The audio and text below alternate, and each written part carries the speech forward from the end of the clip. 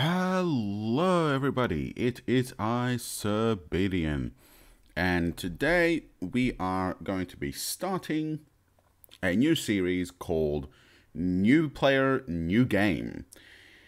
What this is going to be about is this is going to be a total rundown of uh, basically Aurora 4X C Sharp. Um, I'm going to be covering how to everything from how to install it all the way through to covering all of the various game elements.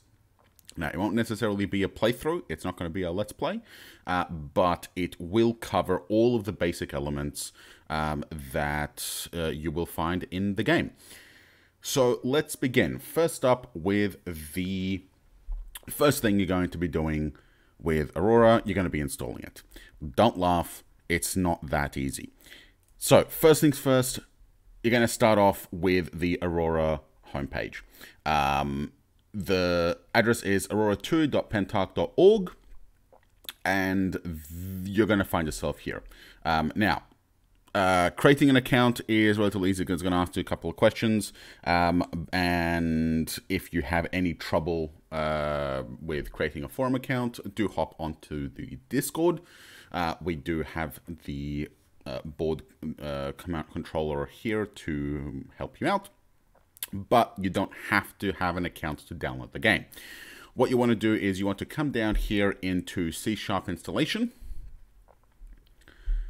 and you are going to want to find two things. Uh, first of all, this forum thread here, the C Sharp full installation version 1.0, and the latest patch. So in this case, today it is the version 1.11 patch. Okay, so first thing you're going to want to do is you're going to want to download the one version 1.51 full installation. Uh, the second thing you're going to want to do is download the version 1.11 patch. Now, note this is the version 1.11.0, not 1.1.1. There are two different versions. Make sure you download the correct one. Um, if you're coming in later, just make sure that you download the latest version. So once you have the full install, you're going to extract that into a new folder.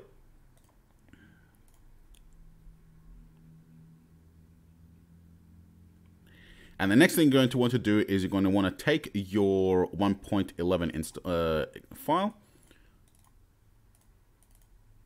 And what you want to do is, now this is important, these are the two game files you're going to want to replace. However, do not drag and drop them. Aurora is annoying. It does weird stuff if you do that. You want to make sure that you take the old files, delete them from your system entirely, and then extract them out, uh, extract the new ones into the game folder.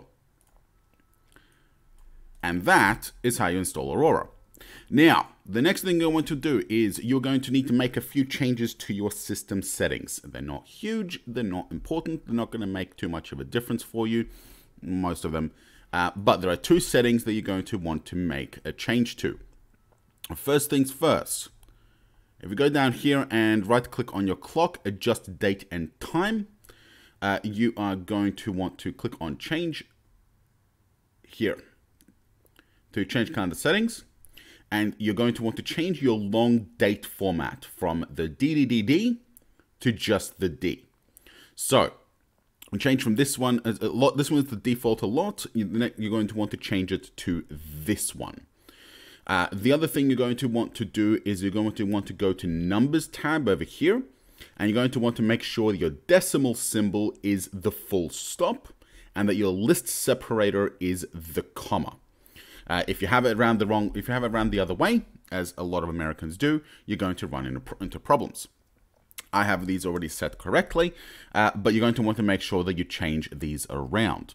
Um, now, this is the one that can come uh, uh be confusing because obviously you're going to have um, the separator be different, but you need to make sure that these are set. If this one is not set, uh, you're going to have errors, and if this one is not set, you're not going to be able to see uh, certain dates properly.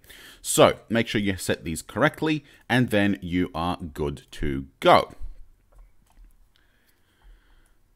Now, if you're updating like me, uh, you are going to have uh, potentially some old stuff sitting around.